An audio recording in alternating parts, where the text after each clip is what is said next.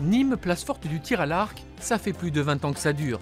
Le tournoi international indoor qui débute aujourd'hui est devenu le plus important se déroulant sur le territoire européen. Jusqu'à dimanche, plus de 1200 archers venant de 43 pays vont se disputer les places d'honneur. Parmi eux, toutes les pointures de la discipline, multimédaillées dans les compétitions internationales. On a sur place euh, deux champions olympiques, euh, Oh Jin Hook et euh, Kubon Chan, champions olympiques 2012 et 2016.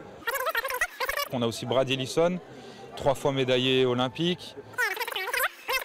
Et sur l'arc à poulie, alors là, on a vraiment les tout meilleurs. On a le recordman du monde, Mr Perfect, Mike Schlosser.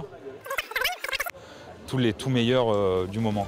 Le temps fort de cette quatrième manche de la Coupe du Monde, ce sera dimanche après-midi. À partir de 13h30 se dérouleront les finales, à l'issue desquelles seront décernées les médailles en arc classique et arc à poulie chez les femmes et chez les hommes.